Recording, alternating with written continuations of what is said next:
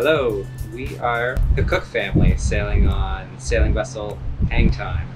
We purchased uh, this catamaran in 2017, November, where TZ flew out to La Rochelle to pick it up and bring it over to the US. Uh, we've been currently sailing the uh, Caribbean with it over the last couple years, and we'd just like to introduce the family here. I'm Brad Cook. I'm mom, Karen Cook, but my nickname is TZ, so I go by TZ Cook. Ben.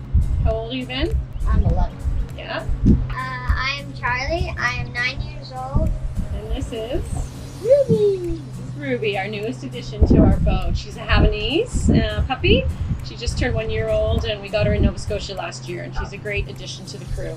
We have a Fountaine Pajot Saona 47. We bought it brand new in France, and it's been a great home for our family for the past two years.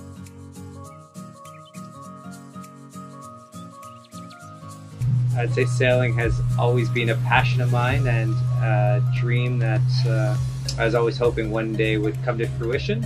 Uh, I've always loved the sea, so getting on a boat and finding that freedom and spending a lot of time with family on board, um, making memories, is probably one really big part of uh, this adventure of ours right now.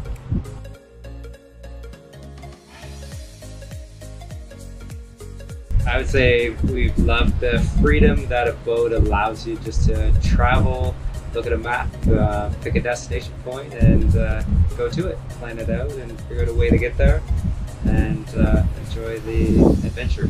Uh, my best sailing experience was probably when we went fishing because we were with all our friends and we got to go swimming and there was whales and it was just really fun. My favorite place was Cap Cana Marina in the Dominican Republic. Uh, my best sailing experience has definitely been uh, with the family, uh, visiting uh, new islands and um, uncharted water that we haven't been to before. So uh, pulling up to an island and exploring it, exploring the waters, the beaches, uh, is definitely a highlight. So.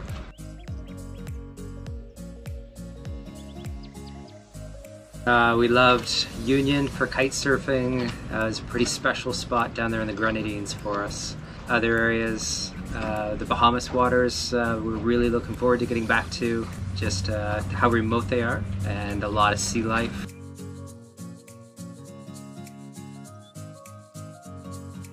I love the sunrises and the sunsets on board Hang Time. My favorite spot on board Hang Time has to be the salon in the morning or evenings. Evenings, uh, you get that sunset, uh, typically when you're the trade winds, and the back of the boat is facing west, and uh, lots of seating area, so usually it's a social hour with friends and family.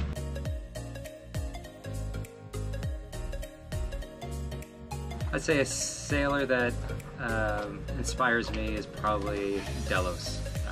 The way they've been able to move around the world, uh, create a lot of memories, a lot of friends, and a lot of great photos and video of their experiences. So definitely something we uh, would love to recreate as we keep going here.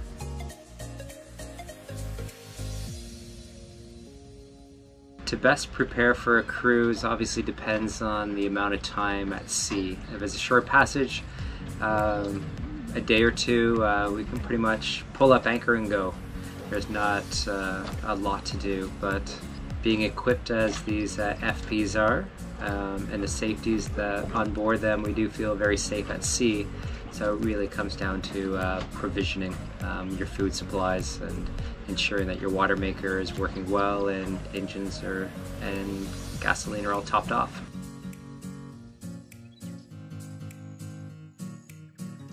We love our boat, yeah. We love hang time.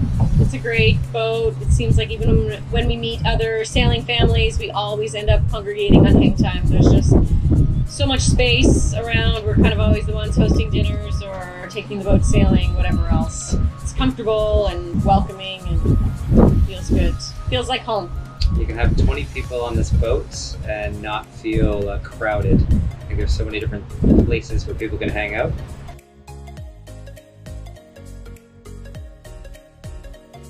Say the best place we've been with a catamaran would probably be Newfoundland. Pretty special place, very remote, uh, extremely friendly people, and a very rugged environment.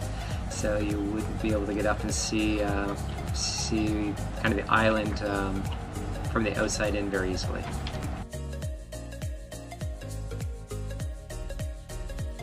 We're in the Virgin Islands. Our plan had been to cross the Atlantic to go back to the Mediterranean and go sail there for the next season or two.